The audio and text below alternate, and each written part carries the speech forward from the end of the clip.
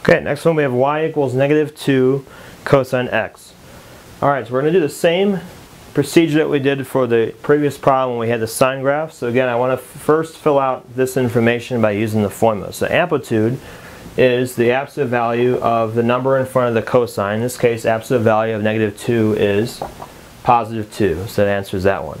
Your period, the formula is always 2 pi divided by the number in front of the x. In this case, number in front of the x is 1.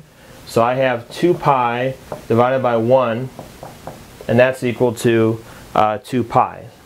My phase shift would be the the c value divided by the number in front of the x. The number in front of the x is 1, but my c value again here is 0 because I don't have any number that comes after the x.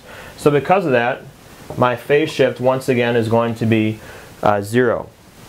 Okay, now if I have if my period is 2 pi and my phase shift is 0, that tells us that automatically we should have exactly the same key points that we had originally when our for our sine graph and cosine graph is 0, pi over 2, pi, 3 pi over 2, and 2 pi.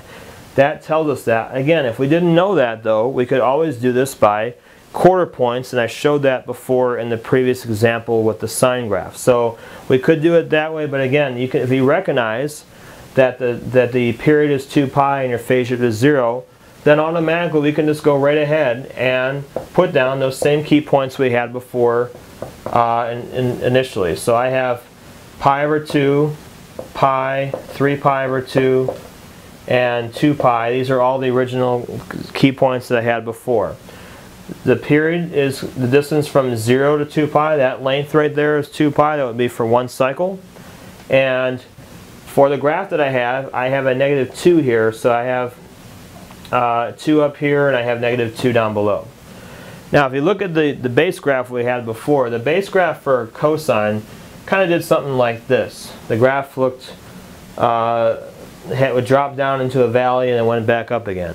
Because I have a negative sign in front, refer, referring back to the transformations that you might have had in pre-calculus, what you would do is you would take this graph and you would flip it over the horizontal axis.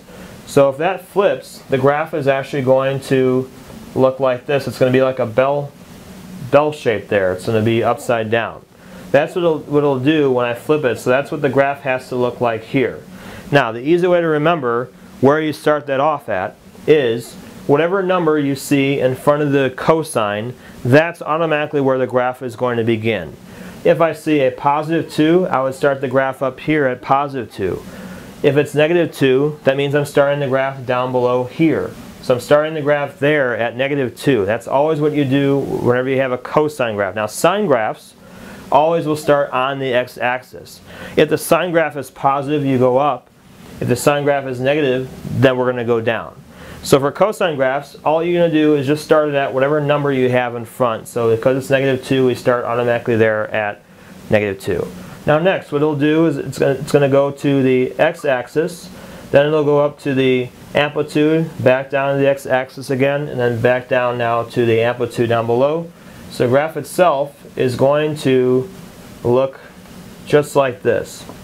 Okay, again it matches this dotted line here because again the graph is flipped over because the negative, the negative is actually a flip. It's a type of transformation.